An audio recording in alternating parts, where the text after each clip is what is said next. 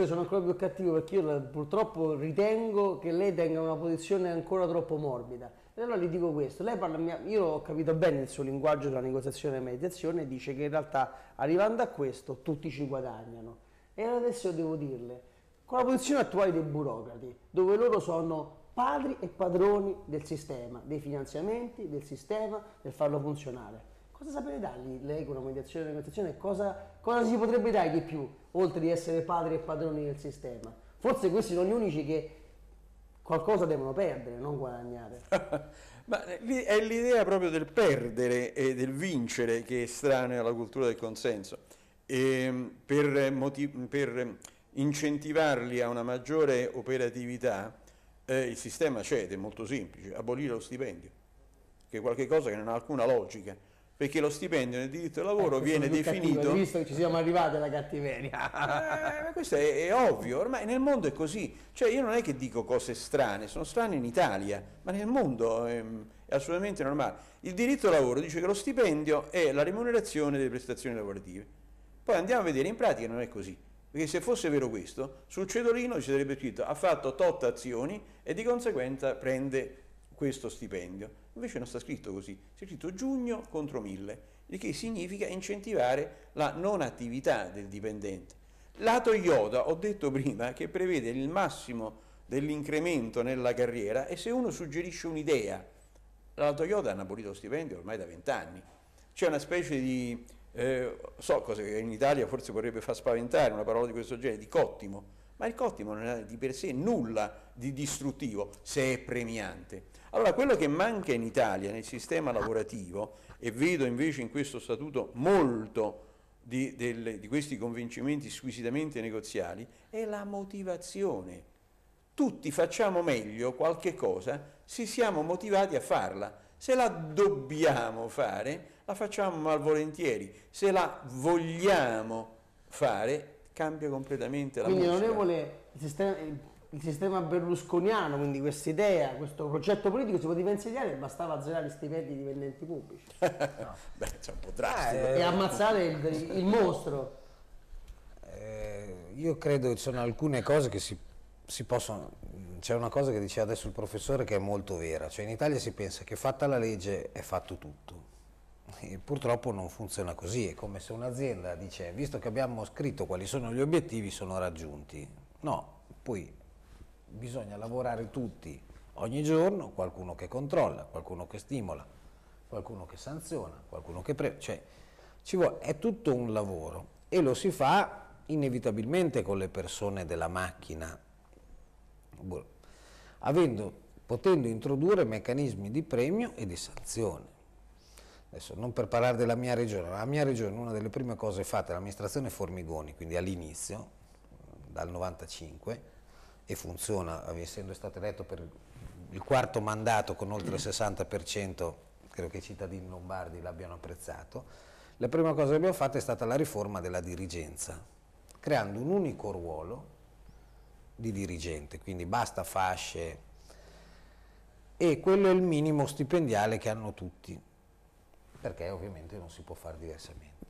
Poi c'è una parte dello stipendio che varia moltissimo, che dipende dalla posizione, ma la posizione dipende da quante persone devo gestire, quante competenze devo gestire, quante risorse devo gestire, per cui il direttore generale della sanità non prende quanto il direttore generale della direzione giovani sport, perché uno gestisce il 70% del bilancio e l'altro gestisce l'1%, quindi c'è una differenza bissà il 30% è sul risultato, ma il risultato sono gli obiettivi della giunta, non sono quelli che fissano.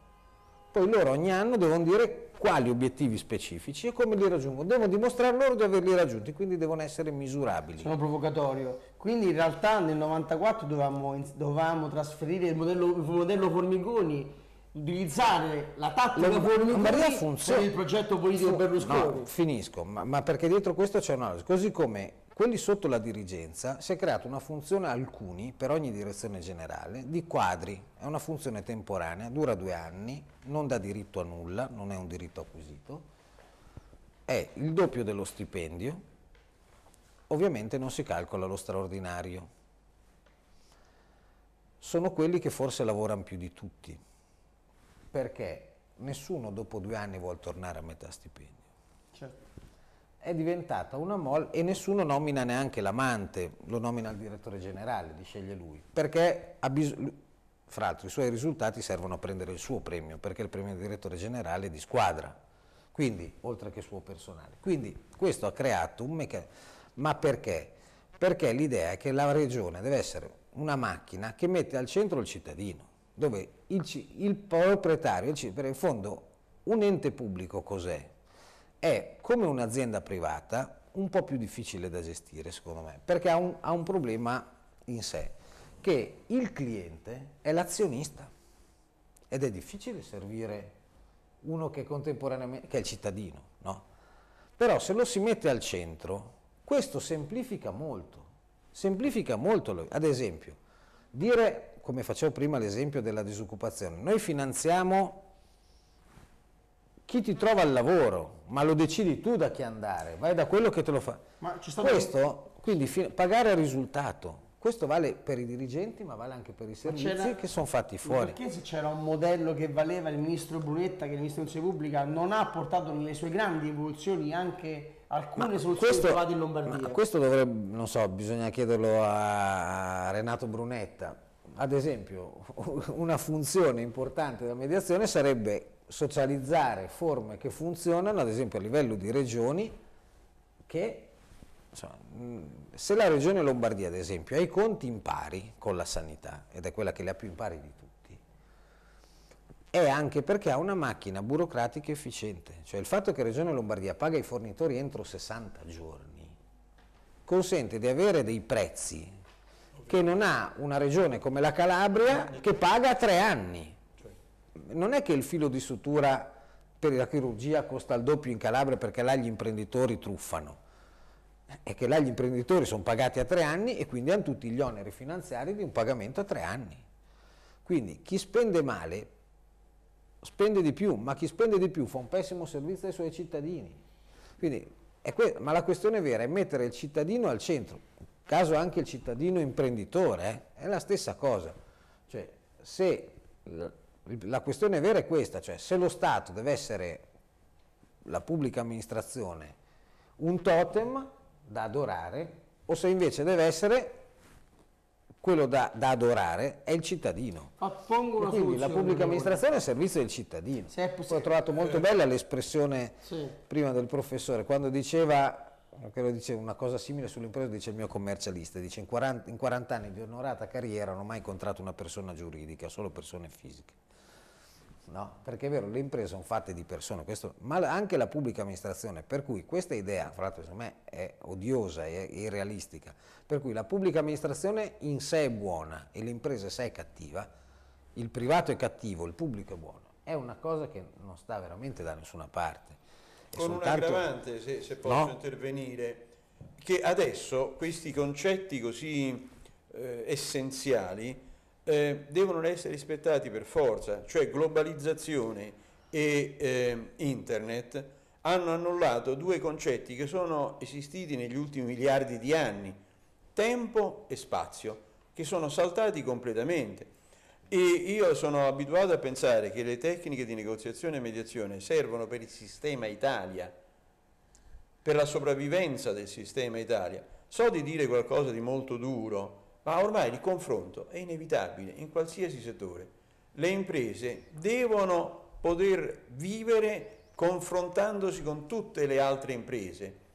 E a, a Piazza Vittorio ci sono i cinesi, a Roma. E quanti italiani hanno occupato una piazza a Pechino? Cioè, ma non c'è proporzione.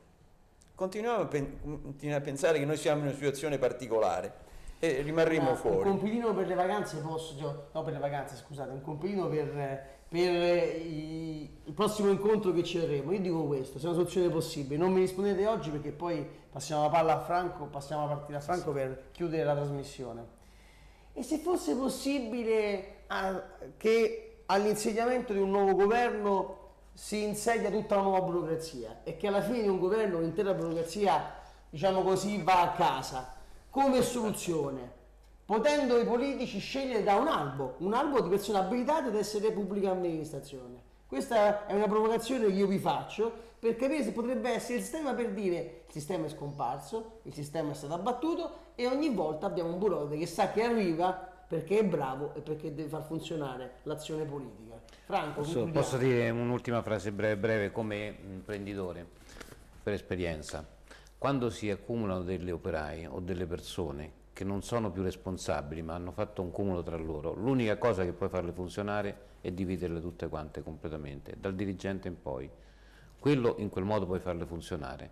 In Italia noi abbiamo un'aggregazione totale di questa situazione e per farla funzionare deve essere per forza sgretolata di nuovo, cioè non, non distrutta, ma bensì sgretolata facendo di, di diversi sistemi in cui responsabilizzi uno e l'altro, in cui cambi determinate situazioni e ne metti a posto altre se ci sarà la volontà dei governi che verranno, perché se no altrimenti rimarremo mortali. Non so se siete d'accordo su questo aspetto, io la vedo in questo modo così. Bene, ti ringraziamo. minuti, possono 30 secondi per uno se vogliono, in questo sì. potete, onorevole? No, eh, sì, cioè il problema vero però io credo che mm, ci deve essere anche da parte della politica la voglia di dare degli obiettivi molto chiari e pretendere che vengano raggiunti perché è anche una questione di lealtà nei confronti degli elettori. Se io sono eletto su un programma devo farlo e tu, pubblica amministrazione, mi devi dare.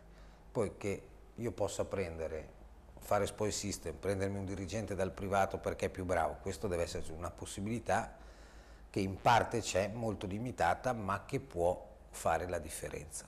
Professore.